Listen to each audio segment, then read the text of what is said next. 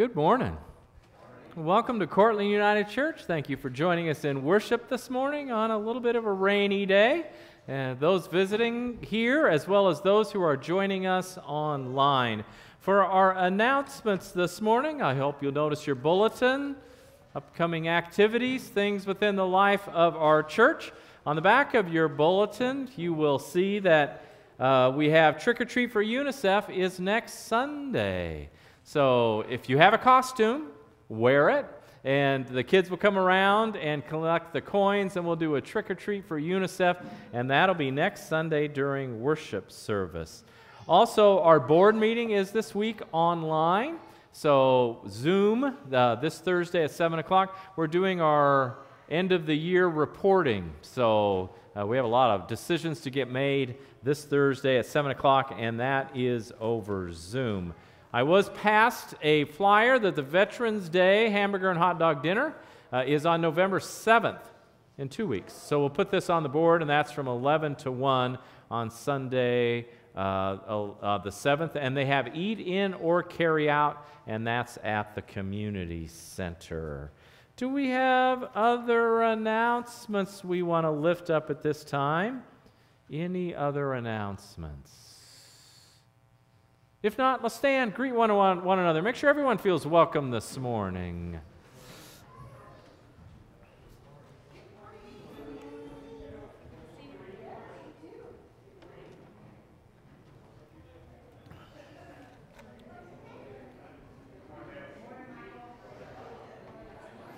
Good morning, John.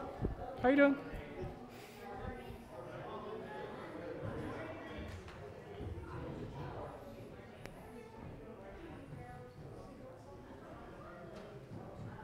Oh, I love the orange. That is just too cool.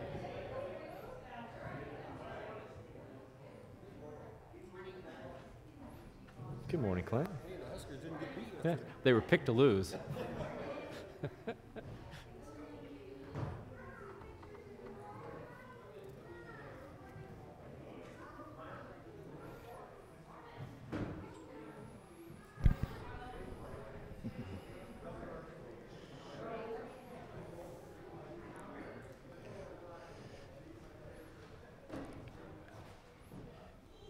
Psalm 34, verse 4 says, Magnify the Lord with me and let us exalt his name together.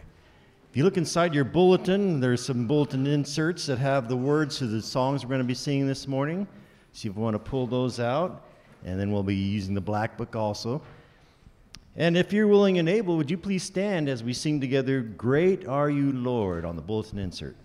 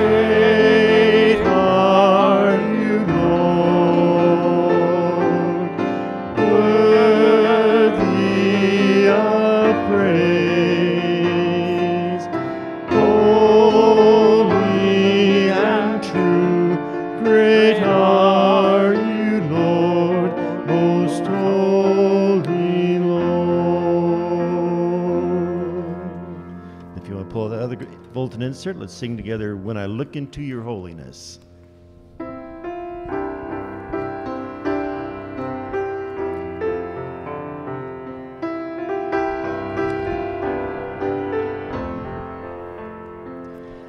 When I look into your holiness,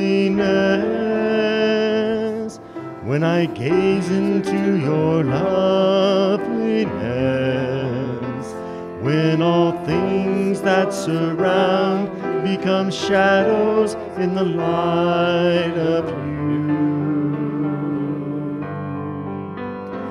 When I found the joy of reaching your heart, when my will becomes enthroned in your love, when all things that surround become shadows in the light of you.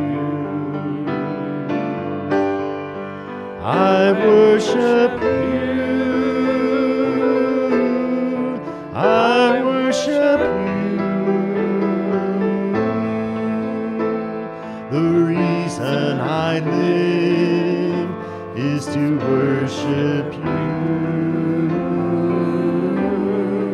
I worship you.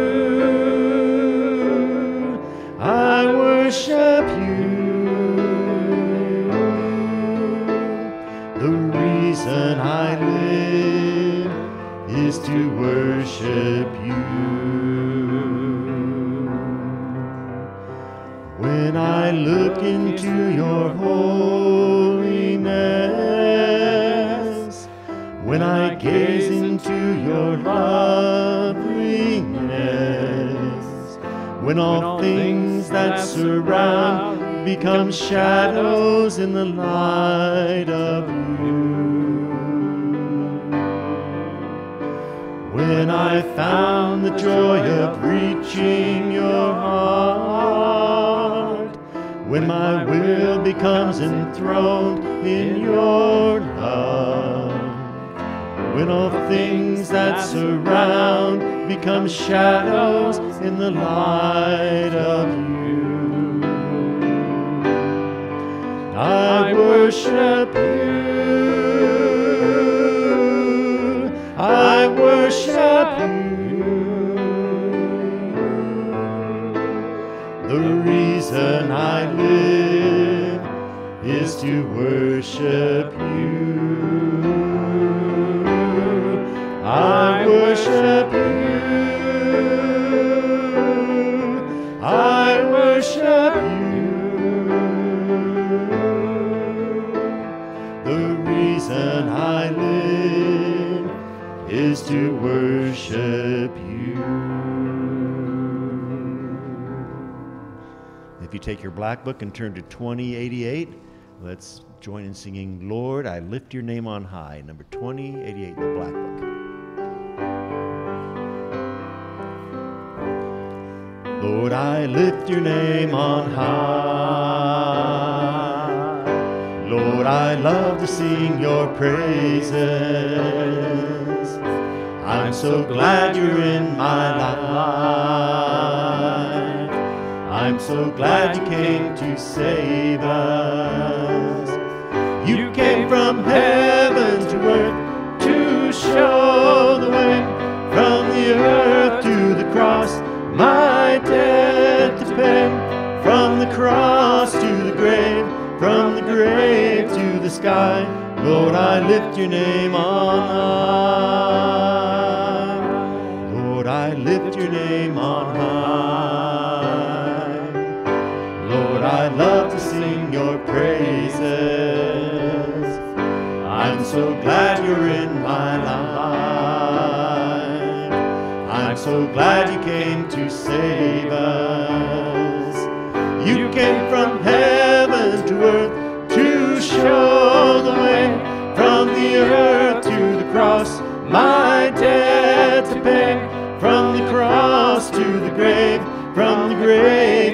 sky. Lord, I lift your name on high. You came from heaven to earth to show the way from the earth to the cross. My debt to pay from the cross to the grave, from the grave to the sky. Lord, I lift your name on high. You may be seated. Let us join together in the call to worship that is printed in your bulletin, and if you would respond in the bold print. Come take refuge in the Lord, for God is good. Come rejoice in the Lord, for God will provide peace for you. Come open your hearts to the Lord, and you will be given blessing.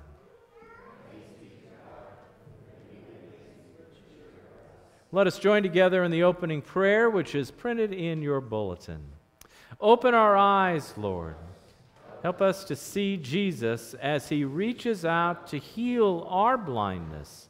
Help us to let go of all those things that keep us in darkness. This day, as your word is proclaimed, let your hearts and souls respond with joy. Transform our lives to do your will. In Jesus' name we pray. Amen. At this time, may we have the youth and the children please come forward for the children's sermon.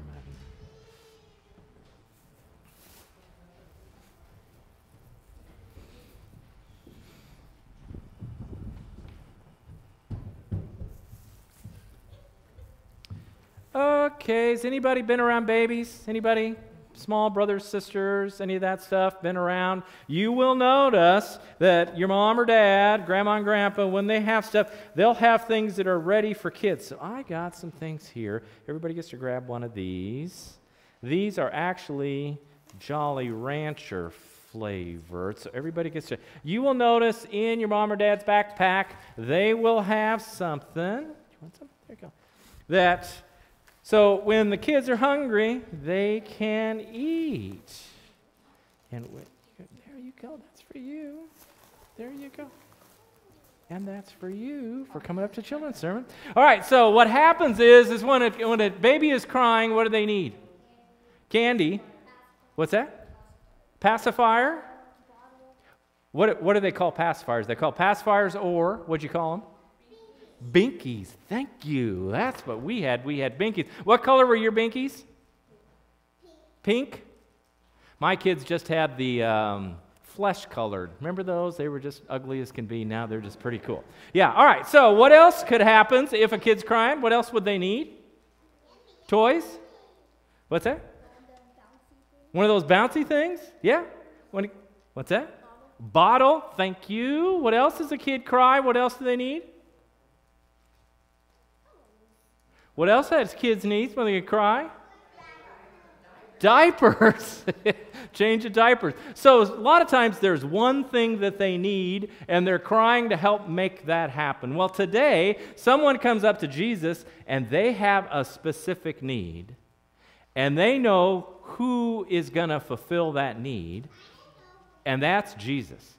And so it's very interesting. He has all these people around them that are somewhat afraid to ask, and this person comes up and they're going to ask right away because they have needs, and we do too. And so we need to learn to ask Jesus for our needs because sometimes we know what Jesus can do for us. All right, let's pray before we go back and pray with me. Dear God, help us to pray to your Son. Oh, man, thanks for coming up. There are some more suckers on the way back if you want some.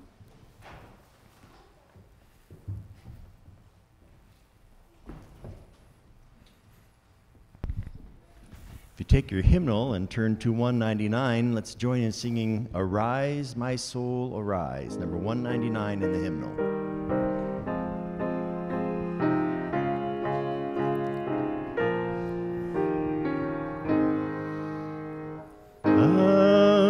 Arise, my soul,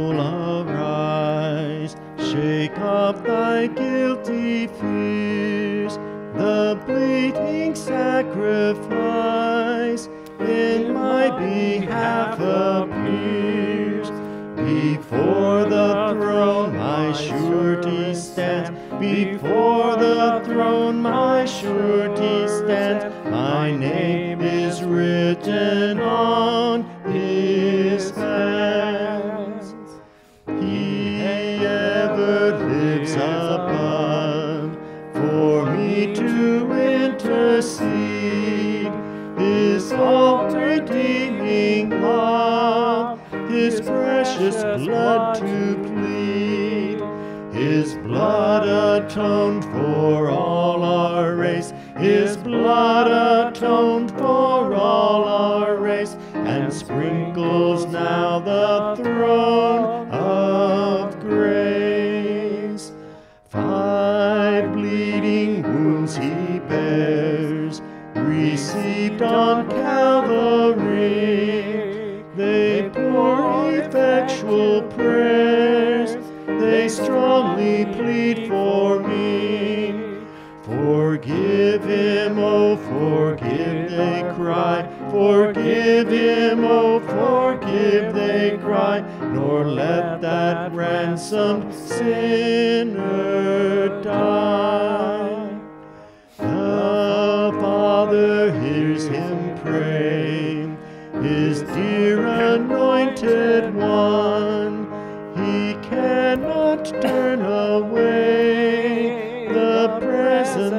Of his Son.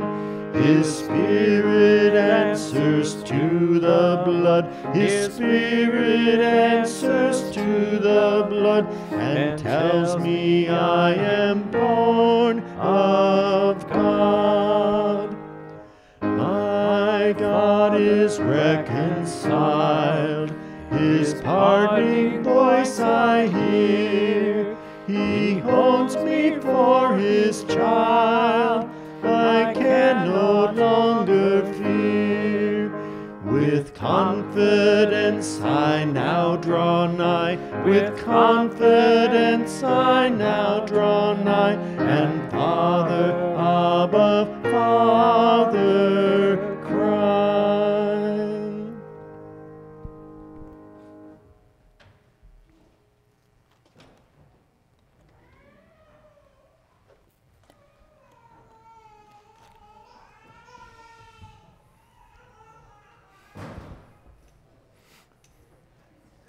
She wishes to come read with me. Yes, you can.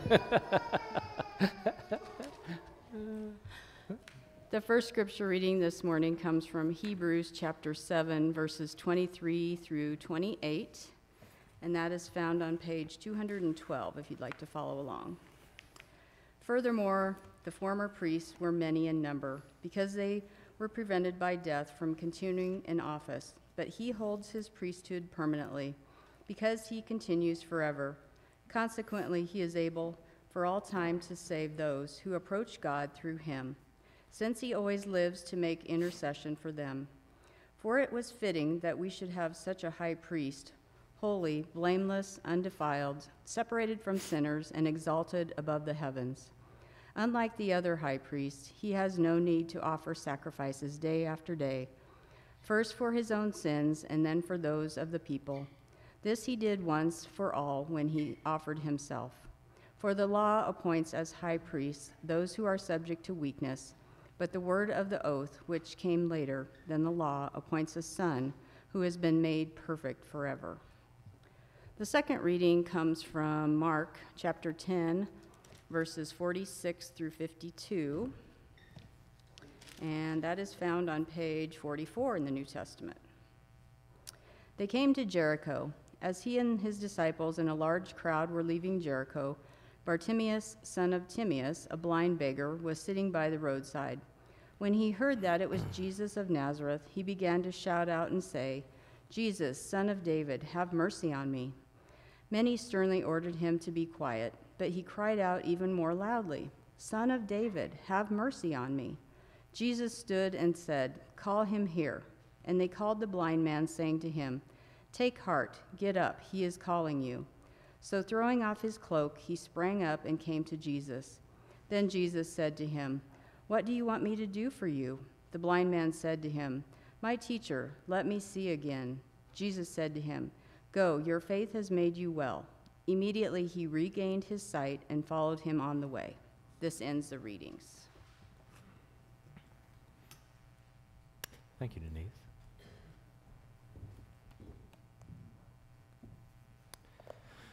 Well, it is your lucky day for today's sermon because my sermon is sitting on my living room table right beside my book at home. So it's going to be shorter today. I'll just guarantee If it gets long, just give my, uh, my, my job as a preacher's kid was to sit in the back row, and when dad got too long, we give the cut sign, and that, that was our job as kids, is to let dad know, yeah, we've had enough. So uh, I did that for years. Okay, so George Lucas, many of you will know, George Lucas is the producer of the great Star Wars movies. When the first Star Wars movies actually came out, they were nervous. Uh, George Lucas had helped uh, direct the um, American Graffiti, if you didn't know that. And it was somewhat of a success for the box office, but they were nervous about this new film he was about ready to produce.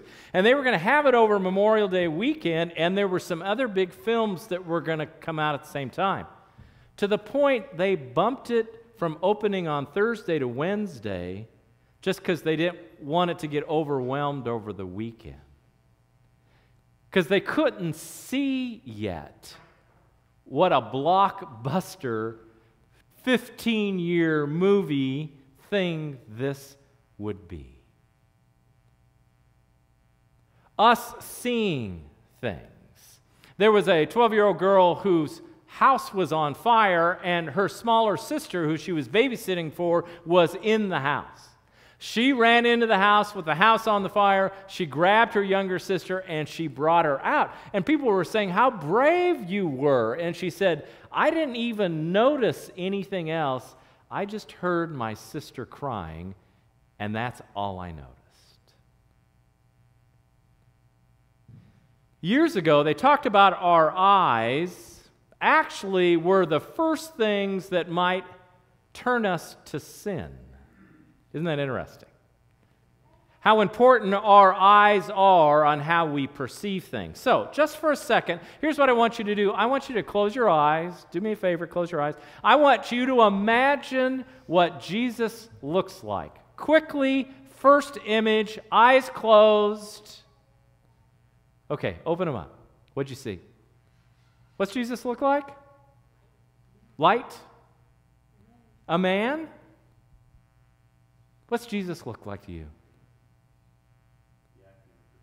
The actor that portrayed him in the movies? For you, what's Jesus look like? I have a picture my mom gave me. It's an etching.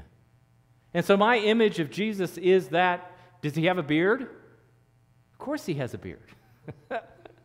Isn't it interesting? Is he Caucasian? Of course he's Caucasian, because the pictures we've seen are all Caucasian. The reality is, probably not. He's of a different color than we imagine him. But I mean, these images that we have when we close our eyes, because really it's the physical that we think of, but it's more than that. Um, I brought here before for children's sermons some of those things that all you see is um, etchings and colors and pieces all together, and you focus on them for a period of time. And then if you close your eyes, sometimes you could see with your eyes closed a picture come. Some people can see it, some people can't.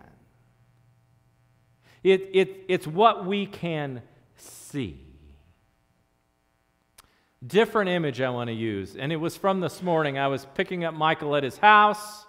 Outside his house, there's a beautiful uh, place where there's uh, a bird feeder all over in this beautiful little garden. And there was a squirrel trying to get at the birdseed. Have you ever watch a squirrel trying to get a birdseed? They're amazing what they can do to get at the birds. They can crawl up, they can jump around. The squirrels will do about anything to get at food. Here we have a guy today who wants to find himself in the presence of Jesus. And he would be the last guy in that day they want, want Jesus talking to. In that day, if you had a disability, it was because you were cursed by God. So they, they wouldn't want anybody around Jesus who had been cursed by God because they would be unclean. And so here comes a guy, and he in some way wants to get to Jesus because he wants something done. Now, I want to use some other images out of the Bible today. Uh, Moses Moses could see when he had the people in the Holy Land, they weren't there yet. Remember that they got into the uh, working, working towards the, the promised land and they were in the desert. They complained they didn't have food. That whole fiasco of the Ten Commandments as they were worshiping other gods. Moses could see they had work to do. Within the scripture, we have a Syrophoenician woman, and she needs her daughter healed. And she goes for a specific thing straight to Jesus to ask for help. There was the woman who had been bleeding for years, and she reaches out and she just touches his cloak. She has a specific thing that she needs from him. And so today we have a guy named Bartimaeus. And Bartimaeus has Jesus coming along the road, and he calls out his name. So in the scriptures, you will hear, and Denise was reading it, and she was saying this guy was yelling out, Son of David, which is very fascinating. Biblical scholars, you are. It's the only term they use in the Gospel of Mark, is the only place you'll find Son of David. Why Son of David is so important is that they believed that uh, in the Gospel of Mark that the son of David, there would be this lineage that would go from David until the Savior. And it was interrupted after David because they were taken into exile. And so there were times that everyone was looking for someone to restore the order. So they were looking for the son of David to come and do that. So here's Jesus coming along the dirt path, the dirt road. There's Jesus. And there is a blind man who senses his presence. And he yells out, Son of David, as someone who would return them to that lineage. Then they were on the road to Jericho. Jericho was about 15 miles from the holy city people who were coming along that road, they were going to the temple. So if you were a beggar, that's a really good place to be. Because if you want to find yourself in right relationship with God, you probably want to do it on the way to the temple. And then he says to him, Teacher. Now, Remember, he called out him a variety of ways. The reason the teacher is really important to me is, is when Mary met Jesus after Jesus was crucified, you heard the words, you've heard the words Rabboni. That's teacher. Here's a blind man, not accepted in the temple, who was believed to be cursed by God, who is on the road who knows he needs Jesus' presence. And he says, Son of David, teacher, have mercy on me. And Jesus does what he does. He calls the blind man over and he asks, What do you need? So let me, you don't have to say this out loud. If Jesus came to you right now and asked, What do you need? Would you know what to say?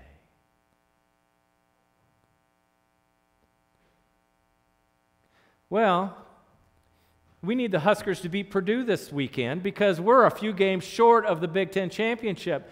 Well, actually, you know, I'm not getting enough people at my local restaurant and my, my, my food's coming slow. Well, uh, uh you know, I, I ordered something over Amazon, it's a week late.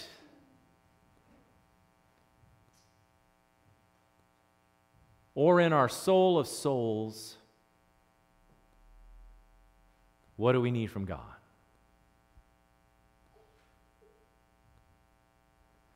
What do we need?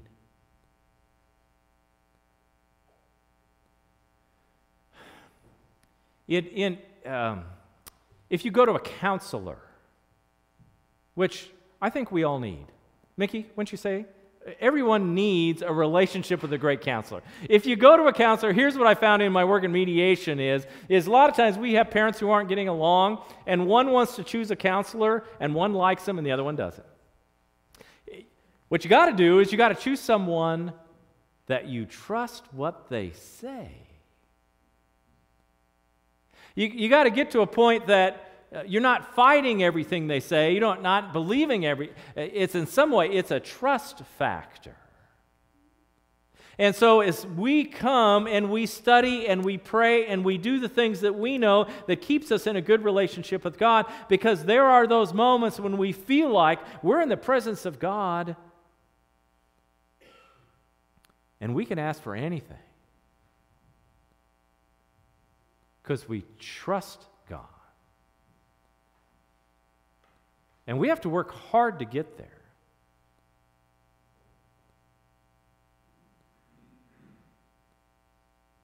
Uh, I, I heard a line this week. I know this will shock you.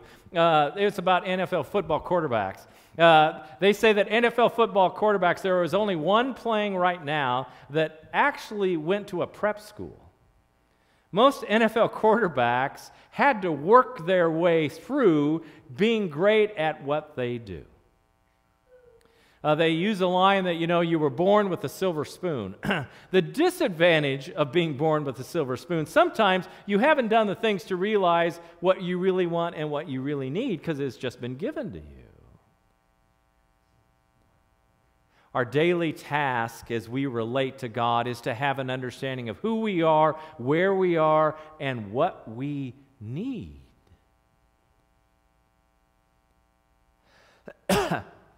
At home, on my table, on my sermon, I had a whole list of people who had special needs. And there were people you all recognize. You know, how, how many people in our world today have ADHD or uh, OD? I mean, the list goes on and on of all of us. I, it makes me think of a movie. I loved this movie, and it was because of the music. It was The Greatest Showman. The greatest showman was the guy, uh, Barnum and Bailey. What was the guy's name? I can't even think of his name. Uh, he, he did the circus. And so when he was developing the circus, what he did was he put on posters. If, you, if you're somewhat unique, come and show, and I'll, I'll put you on stage. And so in The Greatest Showman is this list that goes out the door somebody who's seven feet tall a woman who has a beard. Remember growing up, you go to go to the it was like they're different than we are. Our disadvantages may be our salvation. Because if we know we are not perfect, we know we need God. And if we know we need God, I think we get to the point we know what to ask for. Because we're always coming at God knowing that we don't have it all pulled together. This church has done some amazing things. The lift to get up the stairs is just a really smart move on this church's part. I remember when we were working on the elevator and we redid the carpet, we were going to get rid of the lift we discovered that was not something we were going to do. People wanted the lift. Imagine the decision this church had to make to put in the elevator. You look, but what a great move. Making the church accessible is not just a lift or an elevator. It's a recognition that we all have disadvantages in our souls, and we all need the presence of God. And then we come here because the church is accessible. And we're the one, as Jesus is walking by, as he turns to us and asks, What do you need? Because of our relationship and trust with God, we will know what to ask. Because he loves us. And he wants us to give us what we need. Because he's our Savior. Amen.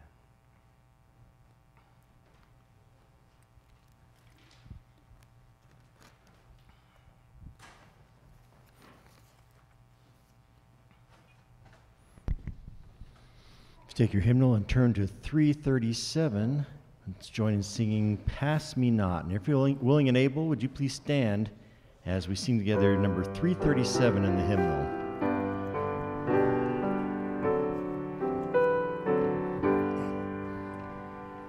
Pass me not, O gentle Savior, hear my humble cry.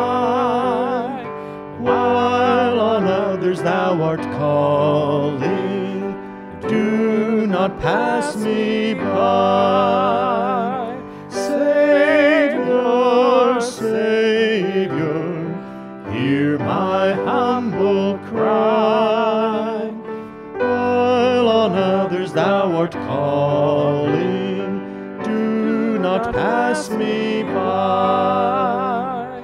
Let me at a throne of mercy find a sweet relief. Kneeling there in deep contrition, help my unbelief.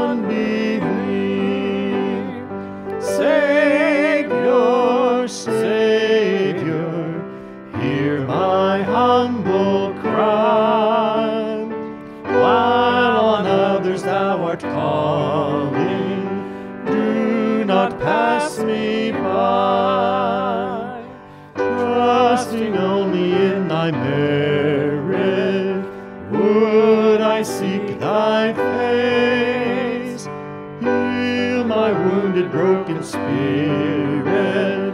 Save me by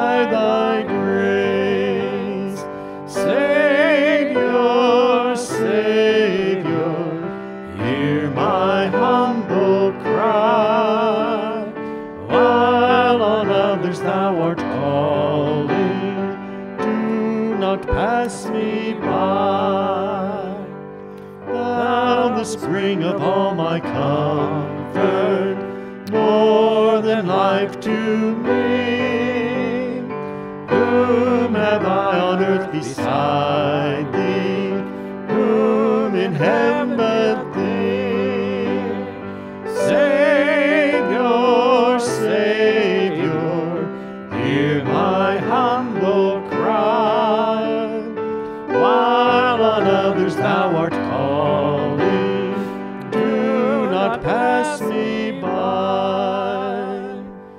may be seated.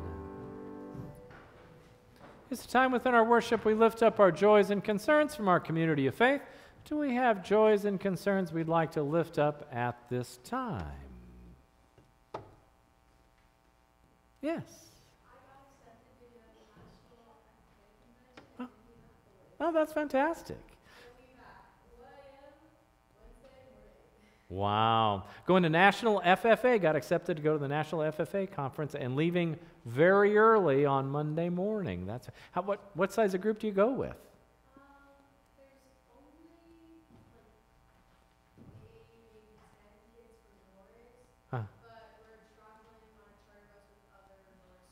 Okay. So they're going on a bus to, to Nashville? Indianapolis. Wow, that's fantastic. Congratulations. Really cool. Do you- You have the FFA jacket? Yeah. Because in Lincoln, that's what you know when it's FFA weekend, everybody has the jacket on. Yeah, All right. Other joys and concerns. I did get an email um, from Jeff on John. Uh, he said John continues to respond favorably to his treatments. He is slowly becoming active, uh, starting physical therapy this week. Uh, he said, Thanks for keeping in our prayers. So, for John Monholland as he's going through his cancer treatment. So, prayers for John. Any other joys and concerns? Thankful for the rain. Need, need, need, need a little more. So, if no other joys and yeah, John, go ahead.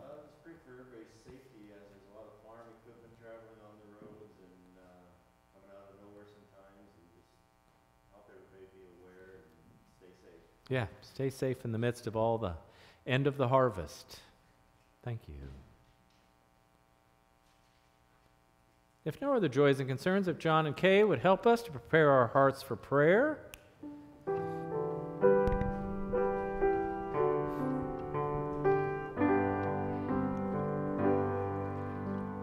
Standing on the one who hears the cry.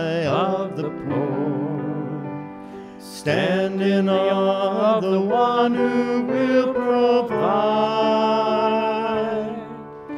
Stand in awe of the one who hears the cry of the poor, for they shall eat and be satisfied.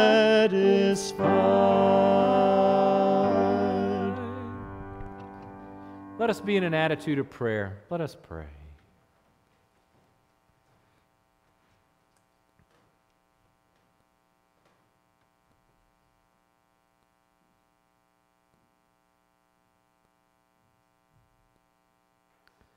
God of all creation, we find ourselves in the midst of your presence.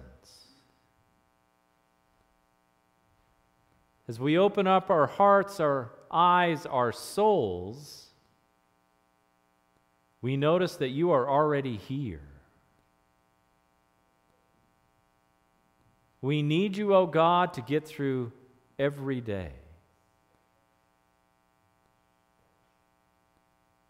As we hear the joys of concerns, those in our community as well as those joys and concerns on our hearts, oh God, we know that you will lead us into our ministry. We are thankful that we are part of a church. We're thankful for our youth and our children. We're thankful for our community. May we open our hearts and our eyes, O oh God, to the ministry and the needs that are around us and help us to be encouraged and inspired to reach out in need. And as those who've been loved and forgiven, let us now all join together in the prayer that Jesus taught us to pray, saying, Our Father, who art in heaven, hallowed be thy name. Thy kingdom come, thy will be done, on earth as it is in heaven. Give us this day our daily bread, and forgive us our sins, as we forgive those who sin against us. And lead us not into temptation, but deliver us from evil. For thine is the kingdom, and the power, and the glory forever. Amen. Let us now receive our tithes and our offerings.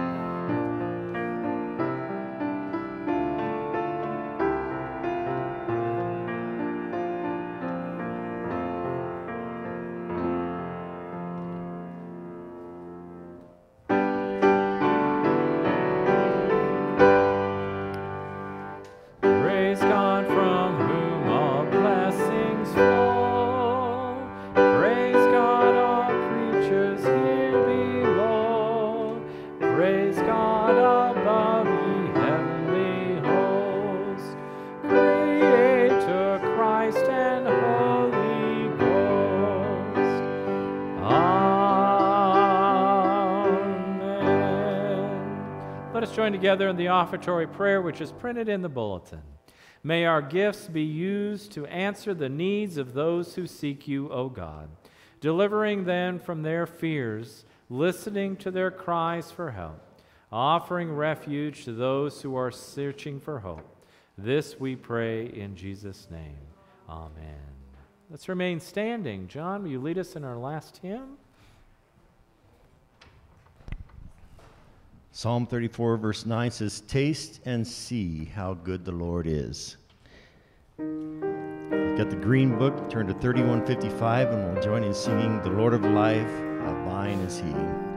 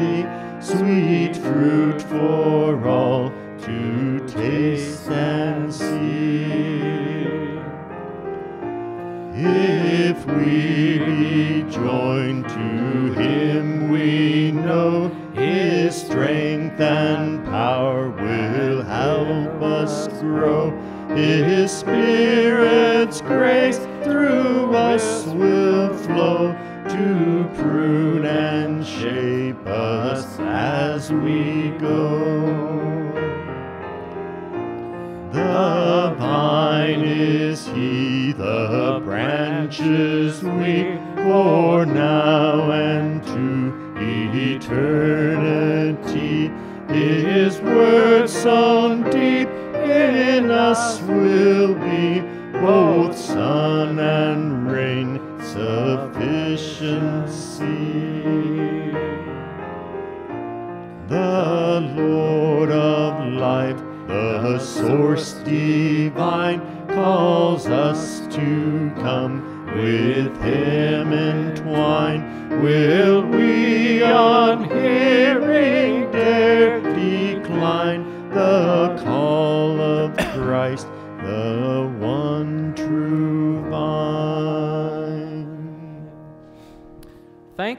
choosing to worship today.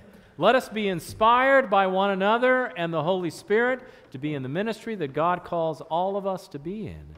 In the name of Christ, amen. Oh.